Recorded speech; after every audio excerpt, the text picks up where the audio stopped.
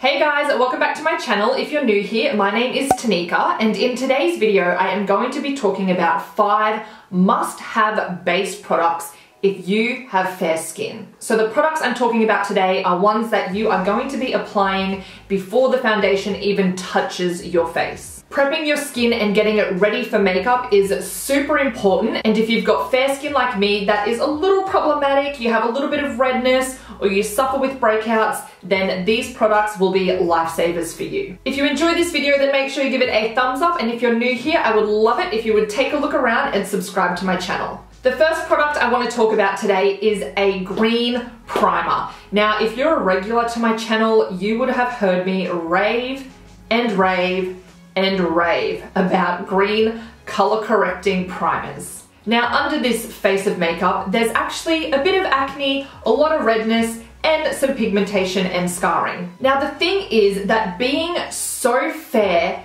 the pigmentation and the redness and all that is so much more visible on our skin because there is no pigment to our skin to hide all that. So if you find that when you apply your foundation, you can still see your pimples and your scars and your redness showing through, then a green primer is going to be the answer for you. So my absolute favorite product is the L'Oreal Infallible Anti-Redness Primer.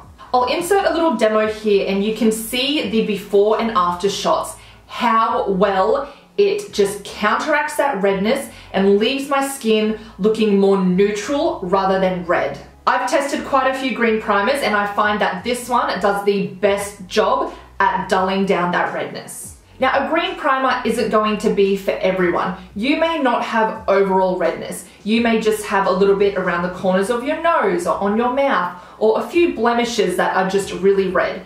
In this case, I would suggest going in with a green color correcting concealer. With the concealer, you can be a lot more precise with your application. So I like to go in with a dense brush and I just dab the concealer off of the wand or apply it to a palette. I don't like to apply the wand directly onto my breakouts because I don't want to be putting those germs back into the bottle. I then just go ahead and tap out the green concealer. It can look a little bit confronting if you're not used to it, but if you blend it out nicely and remember that less is more, once you put your foundation on, it will be covered. Now there are differences when it comes to color correcting concealers, and I would definitely recommend a green that is more pastel. Pastel? So I'll just give you an example of what I mean. This one here is the one I used in my demo. It's the Australis Color Clique Concealer, and here we have one by Maybelline. As you can see, this one is a lot lighter, so it's just going to blend into the skin a lot easier and not be so obvious when you're covering it with your foundation. Don't get me wrong, the darker green will still work, but if you're new to color correcting, I would definitely recommend a more pastel shade. My next must-have product for your base is actually having a concealer that matches your skin tone. So here I have the L'Oreal Infallible More Than Concealer in the shade 322 Ivory and this is a super full coverage concealer that matches my skin tone. So I like to use this to cover blemishes. It's as simple as that. After I go in with the green concealer, I do like to go over the top with a skin colored concealer just to make sure the blemishes are definitely covered and you're not going to be seeing any green peeping through my foundation.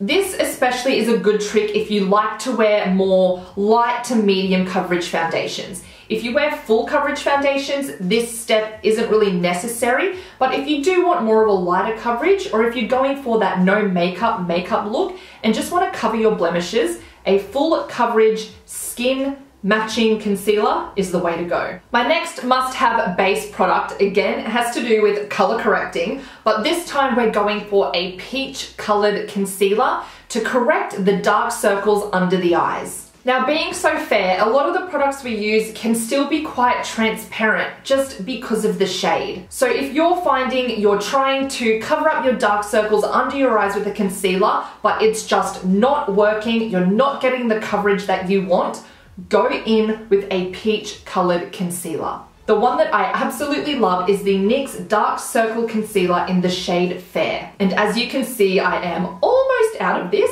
but you really don't need a lot. So this little tub is going to last you a really long time. I just like to go in and get a little bit of product on my finger and then lightly tap this under the eye. And you can see the difference that it makes as it just covers up that darkness. Now I know my under eyes aren't that severe, but this little step really helps in getting that full coverage look that I love under the eyes. Again, with peach correctors, you can get more of a light peach, to a darker peach. So that's why I love the NYX ones because they come in different shade categories. As I mentioned, this shade is fair, so it's a really light peach color and it's not going to look too overwhelming on your skin. You can just pat it to blend it in and then when you go over the top with your concealer, even if it is a medium to light coverage, the peach is doing most of the work covering up the darkness. So adding your concealer is just going to give you what you want. And then the last product I think you must have if you are super fair like me are lightning drops.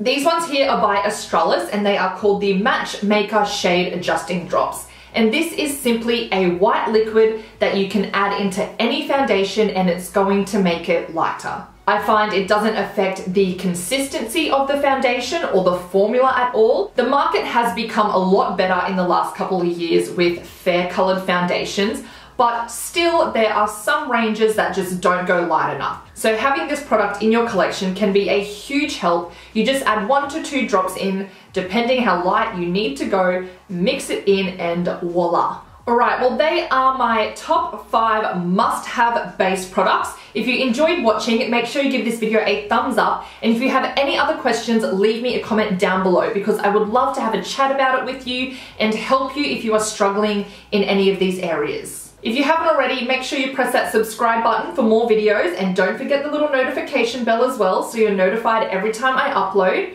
You can also come follow me over on Instagram. I will have that linked down below. And I think that is all from me today. I hope you're having a great day and I hope to see you in the next video.